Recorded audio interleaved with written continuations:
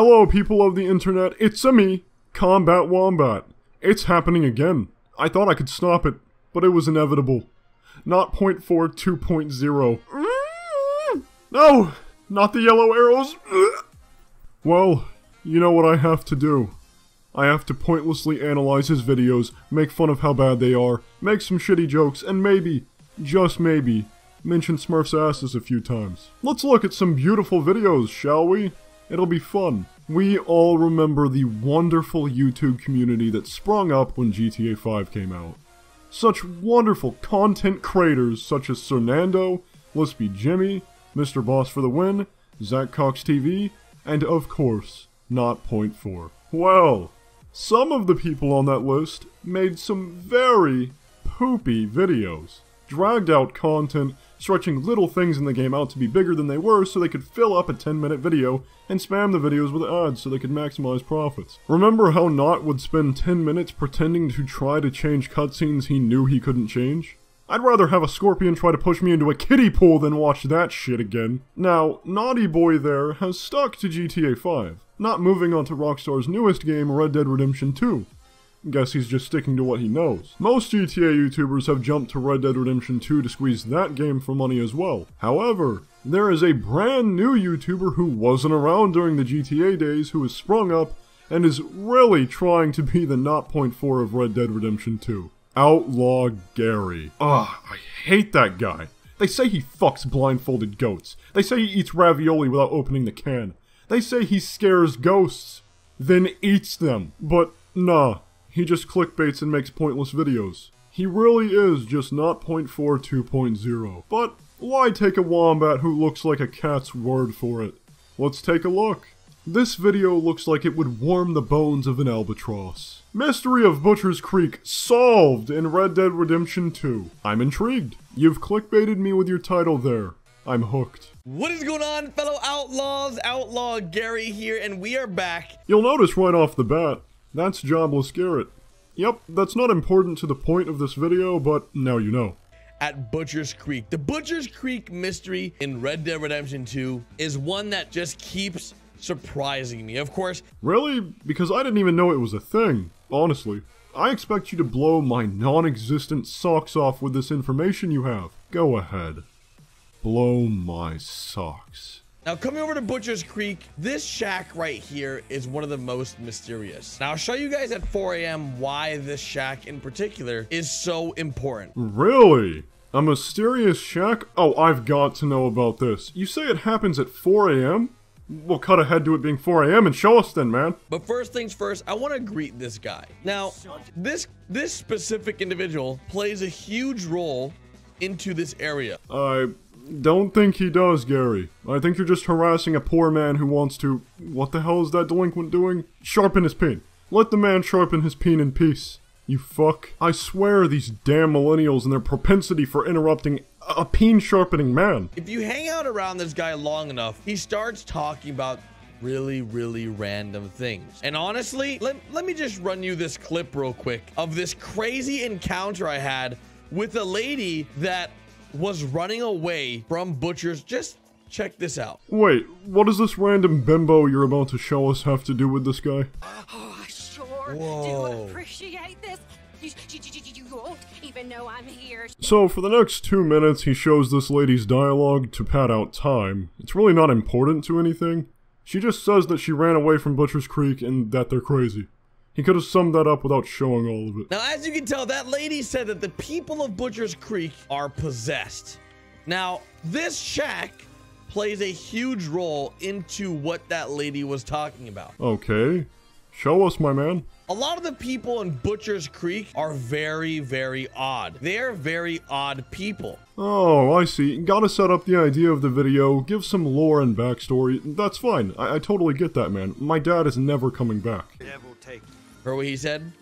Devil take you. I kid you not. This goober here, from minute 3 in the video all the way until 8 minutes in, walks around talking about how the people in Butcher's Creek are weird, listens to dialogue, and then tries to wall glitch into empty houses that Rockstar didn't bother adding anything to. What does any of that have to do with the mystery and it being solved like the clickbait title suggests? Deadly dick. It has nothing to do with it. It's just padding out time so we can hit 10 minutes and spam 5 ads. That's it. So, we're 8 minutes in and we watch him get absolutely oofed by a goat creature, obviously vengeful towards him for the crimes he's committed to their kind. They say he fucks blindfolded goats. In Red Dead Redemption 2, and these freaking goats, bro. I swear, I'm gonna kill them all one day. This house definitely plays a huge role into the creepiness of Butcher's Creek. So you keep saying, since the start of the video. Strange that you're just now coming back to it. Eight minutes in. Three, two, one, now! Ta-da! Congrats! You're 40 seconds away from being able to place extra ads. You win, Garry! At 3.59 exactly, that thing appears. I don't know why. I don't know why that happens, and no one knows why just yet. What? Bitch! You said in the title this mystery is solved. You've got less than two minutes to solve this mystery, or this is a poop clickbait video. Nothing happened. I thought like maybe I have to die here and then I'll sacrifice my body. No, didn't work. It, literally, literally nothing just happened. I just died. That's that's the extent of what just happened. Yeah, I know, Garry. You're fully aware that you've hit 10 minutes. I can almost hear the egg timer in the background going off, letting you know, you fiend. Regardless, as you guys know, the Butcher's Creek mystery is not solved yet, and I need your help. Fellow gamers, I need your help. Outlaw Garry needs your help to save Butcher's Creek and figure out the mystery at hand, as there's a lot more to understand. Eat an entire bowl of refried oyster titties, you homunculus fuck! You said in the title that you solved the mystery. Solved! You clickbaited me. Hmm, clickbaiting, wasting time, rambling, letting dialogue encounters play to pad out your video length because you have no content. Just like another YouTuber I know. Oh, by the way, he did a video on that Butcher's Creek mystery before. So that's good. Rehashing old stuff, I see. Alright, so that video made me never want to eat at Red Lobster again. But he has to have some purpose in another video, right? Let's see here. Oh! Secret Braithwaite ending in Red Dead Redemption 2. Red Dead Redemption 2 Easter egg. A secret ending? Well, sign me up, buckaroo. So many of you guys hit me up and said, Garrett, you have to see what the Braithwaite secret girl does when you bring the Braithwaite daughter to her. Oh no. Throw a gopher at my ass. He's doing the same thing Not does where he wastes 10 minutes trying to change a cutscene or dialogue by just bringing a character somewhere. This ought to be good. So, he rambles until 2 minutes and 45 seconds in, then plays an entire cutscene. Not once during this cutscene is the girl that's locked in the outhouse mentioned. Not once. So why show it? To pad out the video. That's why. So as you guys heard, she's heading up to Boston. Now, she's trying to get away from her family and is escaping from the weirdness that happens in the Braithwaite household. Yeah, and we all got that from the cutscene. This doesn't seem important to the outhouse girl at all. I don't even know what to call her, but let's just call her Outhouse Girl. The Outhouse Girl, of course, rambles and rambles, and she goes on all about her story. Okay, he's explaining the outhouse girl to us now. And yeah, that's cool to find out about if you didn't know about her, but I get the feeling this secret ending he titled the video with isn't real. He's probably going to screw around and waste our time, because I know these types of channels. They're my favorite types of channels, which are most common in Rockstar games for some reason. The clickbait pointless videos that only serve to make you watch advertisements. I don't even see the entertainment value. It's like when I watched Not walk around for 10 minutes in the sewer in GTA 5. He knew he wasn't going to find anything, but the thumbnail and the title sure made it seem like he did. But nope, just a metric ass ton of ads and rambling. This is painful for me. Can we go? Okay. Look at that. She isn't saying seeing her cousin locked up in an outhouse is painful, Garry, you sly dog. She's just initiating her dialogue for the trip you're about to go on. You limp biscuit. And today he will. What about this? Is there Explain? We- we explain be this. She isn't going to explain anything. Her dialogue isn't going to change because you took her somewhere. You know this. Him since the rally. They watched me. If you haven't caught on yet, he's yet again playing dialogue to waste time. He seems to do this a lot when given the chance. Uh-huh. maybe she isn't. This is it right I'll here, do I boys. can from Boston for her. Sure you will. God damn. So, she wants, so she's known for a long time that uh, this girl is here. And uh, So you played the entire dialogue. All of it, just to hear the ending part where she mentions the outhouse girl. I still don't think we're getting a secret Braithwaite ending, Garry.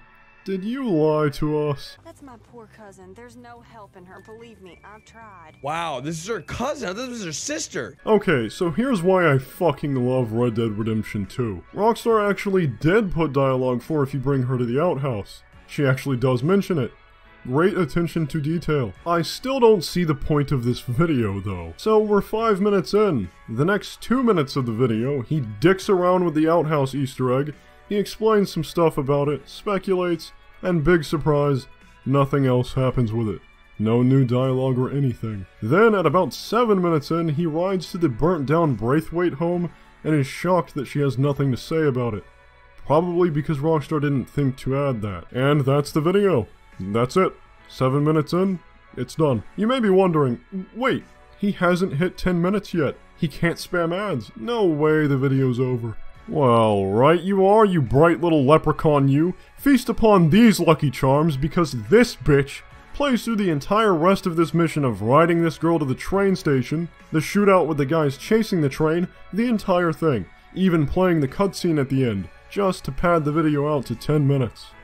And Loki here, there's his 5 ads if you include the one at the beginning of the video. Regardless, let me know in the comment section. Does she save her when she goes to Boston? Up to you guys. Let me know in the comment section. You are the embodiment of the devil's anus made manifest. All this video was, was you playing some dialogue, riding around rambling, and then playing a mission. There was no secret ending. You clickbaited. Enjoy the Taco Bell money from me watching your ads. You jerk. Okay, Outlaw Garry, my main bitch. You have one more chance to actually do something in a video. If the next video is a pointless excuse to put ads in front of me, I'm not feeding my cat for an hour. My cat will not get any food for an entire hour, and it will be your fault. Let's take a look at Secret Gorilla Mystery in Red Dead Redemption 2, RDR2 Easter eggs. I like gorillas, I like mysteries, so this ought to blow my socks off. Right outside of Strawberry, you'll be met with a very, very interesting encounter. Less of an encounter and more of an Easter egg, but okay, let's see it. And lo and behold, you find a gorilla. Well, the gorilla part isn't clickbait. He found one. But is it really a mystery? Doubt it. So I'm going to speed this part of his video up just to illustrate how much time he wastes on this gorilla to pad out the video. I'm not really sure what is going on here, but I have a pretty good understanding of what has happened. As you guys can see, this is a gorilla, but it's not a real gorilla. Does that make sense? It's no longer alive. You can't interact with it. It actually has no eyes either. It looks like, which is super weird. And because of this game, you can't even like look at stuff this close. But the gorilla just doesn't have eyes, and it's just not, not a real thing. Even getting close to it, me shoot what happens. Nothing happens. Okay, something for sure just happened. We just shot off its arm. Yeah, listen, I, I went this not expecting uh, to be able to shoot off its arm, but that okay. Well, if we can shoot off its arm, oh my god, is it lit? I'm, okay, let's just let's just stand back and throw it over there. Oh my god! Oh my freaking god! This is a thing. This is a legit thing. We just blew up a gorilla. No freaking way. Holy! Now, maybe you guys are like, what is going on? Well, this looks like a statue, a filled statue. This is weird. Okay, there's two things that this could be. Um, I'm leaning towards one other than the other because of uh, the, the special house nearby. Now, my friends Taco and Henry showed off the taxidermy house in Red Dead Online. I've known about the taxidermy for a long time because I actually have a really cool picture on my desktop on the social club of someone taking a picture of the squirrel statue. Now, you guys idea what I'm talking about. A about in the future. But this specific uh, crate looks like it was going to a specific house nearby. I started that speed up at 58 seconds in. Now, at 2 minutes and 54 seconds in, he finally gets to the point of the video. Kinda. Now, this specific house that we're talking about is right outside of Strawberry called the taxidermist house. So, he says that he believes this gorilla was made by the taxidermist from the taxidermist's house. He then spends a minute explaining what a taxidermist is. Now, if you don't know what a taxidermist is, if you're uh, younger and you just don't know what that is, or maybe you just don't know what it is in general and you're, and you're of older age, it's someone that takes animals and fills them so you can have them as trophies. And then, guess what? You already know. He shows the entire ride to the taxidermist's house. That eats up another two minutes of the video's time, so that's good. He then does a glitch and gets inside the house. The glitch takes about a minute. We're now six minutes in, and he's just now getting to the main point of the video. Yeah. So, inside here, we're gonna solve the mystery whether or not this gorilla is supposed to be here. Now, if you look around, you'll see a lot of taxidermy things because this is the taxidermist house. What? For real? I thought you would see a ton of anime posters all over the place. No shit, Garry, you fucknut. There has to be some clues, something that links the gorilla to this house. You hear that? Well, forget you did. That's the last time you'll hear about the gorilla because he never comes back to the idea. The rest of the video, he walks around and talks about things he's seeing. That's it. What's in the basement? Oh, whoa, this is creepy. Wait, what the heck? Um, um, what the heck is going on here, dudes? Yeah, he's already been here. These reactions are a bit overblown, you see. Well, he's at 7 minutes and 44 seconds in. I'll give you three guesses as to what he does to hit 10 minutes. Does he A. Walk around and ramble? B. Walk around and ramble? Or C. Find something related to the gorilla mystery?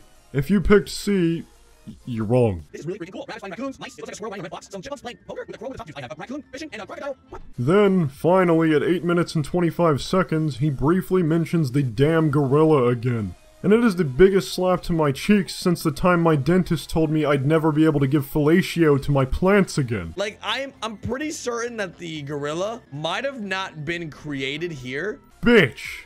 There is no gorilla mystery. It was a random Easter egg put there by Rockstar. You found nothing but the Easter egg and made a video acting like you were trying to find something. You cheeky turd. Well, he rambles some more, and guess what? He can't hit 10 minutes. Yep, for once, he realizes that he doesn't have enough content to stretch the video to 10 minutes for more ad revenue, so he stops the video at 9 minutes in. I'm I'm actually kind of proud of Outlaw Garry here. Normally I accuse YouTubers like him for barely going over 10 minutes and stretching like 4 minutes of video out so he can spam ads and make some more money, but he didn't. I mean, the video is still pointless and he did nothing, but hey man, at least he only made the video long enough for what content he had to show. Good job, man. I'm fucking with you. He plopped his outro in for 20 seconds and got the video barely to 10 minutes at 10 minutes and 2 seconds, 5 advertisements. Well, I give up. You showed an Easter egg of a random stuffed gorilla, shot it for a few minutes, rambled about your left ass cheek, and then rode over to a house and showed us the entire trip, showed us the entire process of glitching into the house, then walked around and looked at stuff. What was the point of this video? This isn't content. This video should have been 5 minutes at most. Now, I know, I know, I get a lot of comments saying, why do you care, man? If you don't like it, don't watch it. You're just a hater. Look, first of all, I don't watch it on a regular basis, alright? I only watch these videos to get footage from my video, okay? And secondly, I don't really care that much. I mean, this guy can make whatever content he wants to make. I don't dislike him or anything, but I entertain you guys by taking a dump on poopy videos and poking fun at them. That's the entire point. The criticisms are legitimate. I mean, he makes poop videos. But the insults and me being all up in arms over it, all a meme. Not real. I could give less of a shit if this guy stretches pointless videos to 10 minutes and makes money off of it. But I'm sure as hell going to playfully criticize him for it, because it's fun. That's going to be it for this video. Outlaw Garry. This town ain't big enough for the two of us. Run along and make some real content. But this town is big enough for the Patreon sponsors that keep this channel going. A huge thank you to sexy Patreon sponsors Charles, Childish Romello, Cromoa, Christopher Wallace, Damon Bogton, Enzi Galicia, Jack Trochu, Jacob E. Shoemake, James Little, Joel McKay, Jordan Reese, JP Stone, Juan Lasnamio, Kyle Hull, Martin Productions, Michael Matthews, Pinkham in a Pie, Ryan Gallagher, Sloppy Windchime, Shelby, and Spiky. And everyone else who supports the channel this way. You people keep me from throwing a cactus at my ceiling fan. Wombat.